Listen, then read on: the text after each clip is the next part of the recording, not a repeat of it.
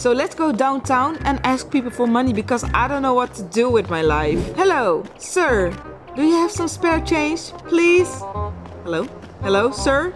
Oh, he pushed me up the fence. Am I even existing here? Guys, he's ignoring me like hell. Okay, I know what it is. I am wearing this boring dungarees. So let's put on something that stands out so people will notice me. Oh my goodness, this is great. Will I stand out with this on my head?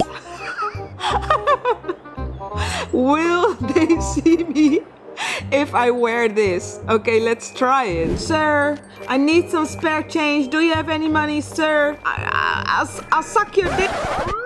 Ma'am, this is the police.